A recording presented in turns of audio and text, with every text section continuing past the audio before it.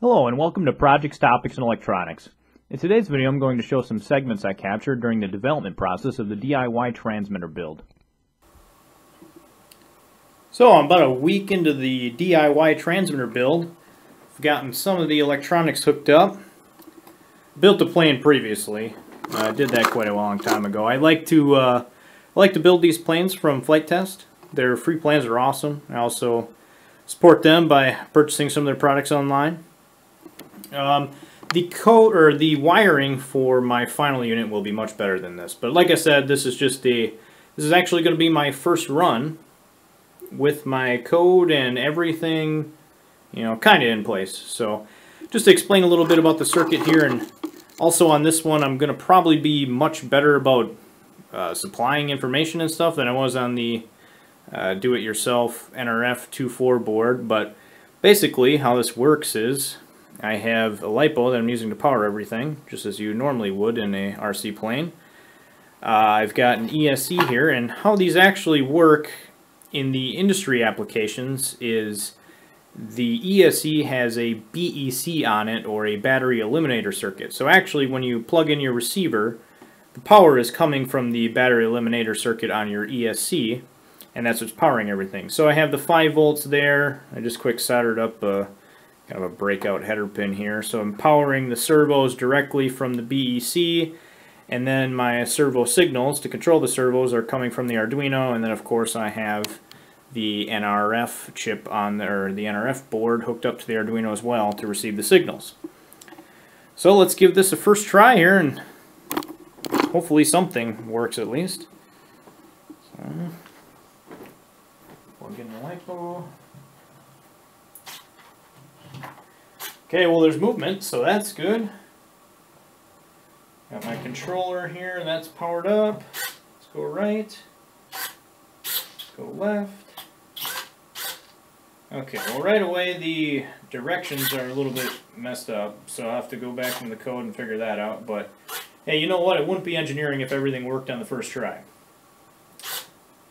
Um, I'm also seeing one other issue here.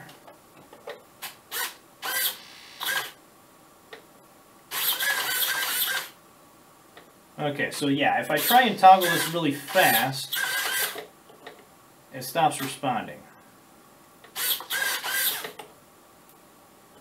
So my guess is that this BEC on here is not beefy enough to provide current for both these 9 grams servos. So I think it's probably pulling the supply rail down. And I'm losing functionality. Yeah, I think so. Uh, I'll have to see. Oh, does it say right on here, actually? Yeah, I'll have to try and look up the specs for that. But anyways, I'm going to have to get new electronics anyways because this is a bigger setup than what I've normally run. So I'm going to have a bigger motor on here and a bigger B or bigger ESC and bigger battery, bigger everything. So I'm um, thinking the new ESC will be able to handle both these 9 gram servos no problem. So um, other than that, Okay, so when I installed these servos, I actually did, I centered them with an actual servo centerer. And I see right now that they are not very centered. So what that tells me is that my PWM signal that I'm sending out is not actually the center for these servos. It's a little bit off. So I'll have to fix that up. But I got a few things to tweak in the code, but overall for a first trial run, not too bad.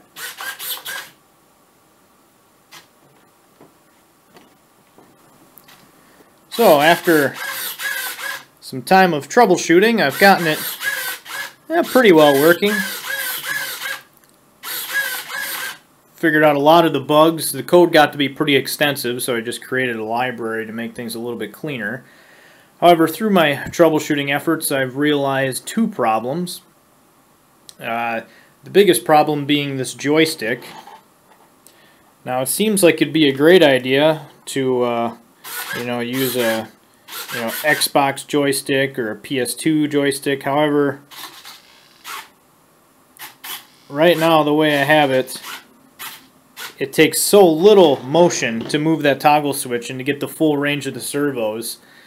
And you know that's that's why transmitters have a very long joystick so that you have a lot of movement in there and you can get some more precise control. So uh, that's one thing that that's actually going to probably be the biggest problem I run into when I actually try to fly it is that that joystick is going to be very very sensitive. I have some expo functions as well, but I don't know how much it'll help for that. The second problem being that I do not have near enough resolution in the PWM output of the Arduino. So the Arduino output pins for PWM are automatically tied to 8-bit timers, which uh, when I figured out the signal that you know an actually an actual factory RC receiver will send to the servos, it's a uh, very narrow PWM duty cycle. In order to recreate that on the Arduino, it's not a whole lot of resolution in the bits. And by the time I run a function to set my upper and lower thresholds for the servo travel, I, I only have a very few bits of resolution there. So I think I'm going to have to take a few steps back and figure out how I get more resolution on the PWM frequency. But anyways, it is the project's moving along. Alright, so I've made some changes to the code and things are now operating much more smoothly. Um, I have a lot more resolution uh, in translation from the joystick to the Elevons. So just to explain here what I did, um, by default the UNO's output pins that are PW, PWM capable are tied to 8-bit timers. So what that means is in order to get a duty cycle from 0 to 100%, you write a value 0 to 255 in your analog write. And by the time you factor in what it takes to get the full servo travel, which was using the 8-bit timers was something like 12 to 35, it's not a whole lot of resolution, especially then also when you, uh, I have a function that allows me to set the upper and lower limits for travel on these, especially when you start doing functions like that, uh, it becomes really bad because then you're narrowing your full range down to just three or four bits. Uh, so that just wasn't going to work very well at all. So what I did was I did a little bit of research and figured out that the 9 and 10 pins on the UNO can be tied to 16-bit timers and that gets you a lot more resolution. So now instead of my servo travel being between values 12 and 35, now it's between about 2700 to I think 7200. Uh, so a lot more resolution. I think it's going to help me a lot with my functions and the joystick travel feels much smoother. So, and actually it didn't take very long to modify the code to incorporate this.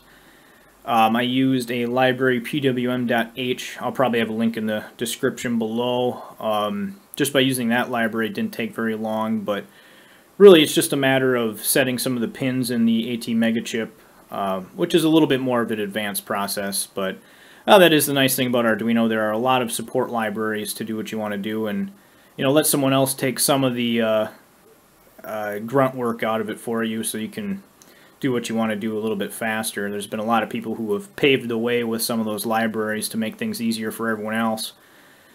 Um, so now, really, the only other thing that's changed is before now I was sending three bytes or three byte payloads over to the receiver, one one byte per servo, and then uh, one for the throttle. Now it's going to be two bytes per servo and two for the throttle as well. So uh, this project's moving along pretty good now, just probably another few days cleaning up the code, cleaning up some stuff, uh, and then ready to uh, get things mounted in here in a more fixed manner and maybe think about getting it up in the air. So that concludes the development video for the DIY transmitter build. I want to thank you for watching Projects, Topics, and Electronics today, and I'll see you in the next video.